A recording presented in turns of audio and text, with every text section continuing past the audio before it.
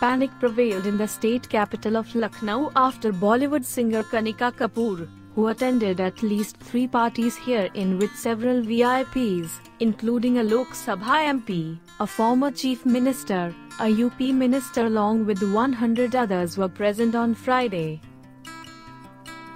Kanika was admitted to the isolation ward at the KG Medical University Hospital here after being found to be infected with COVID-19, officials here said.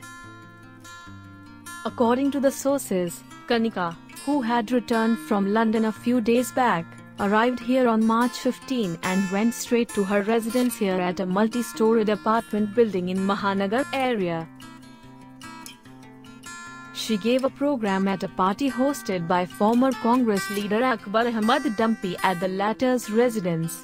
Sources said that BJP MP Dushyant Singh, former Rajasthan CM Vasundhara Raje Scindia, UP Health Minister Jay Pratap and several bureaucrats has attended the party.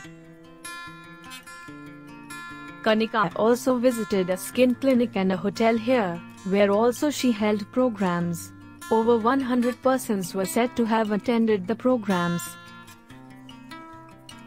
It was alleged that Kanika managed to slip away from the Lucknow airport without being checked. She denied the charge.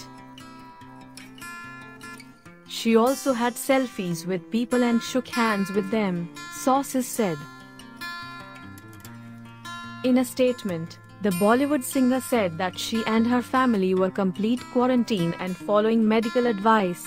Contact mapping of the people I have been in touch with is underway as well, she added.